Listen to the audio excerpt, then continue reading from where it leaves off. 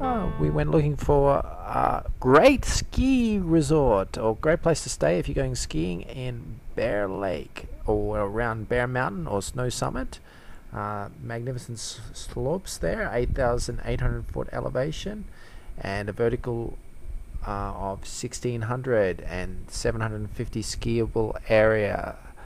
Then this is a top little resort, uh, close to everything in Bear Lake. It's the Mallard Bay Resort and great in summer and winter all year round. Yeah, then drop into Luxury Resort Bliss if you'd like to see the best Bear Mountain ski lodges, resorts, slash